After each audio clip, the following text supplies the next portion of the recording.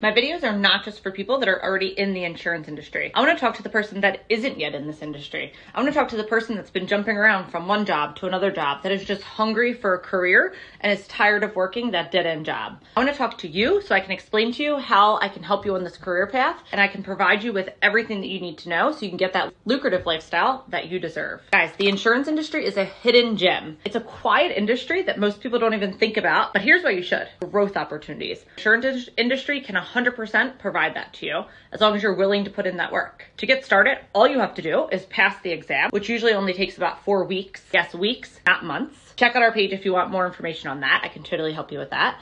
But it's also a stable industry, right? This world is rapidly changing right now between technology, AI. Guys, we're always going to need a live insurance producer a computer cannot take that job away from us. If you're here, if you're still listening, that's because you want to better yourself. So to get started, that's all it takes. You have to want to better yourself.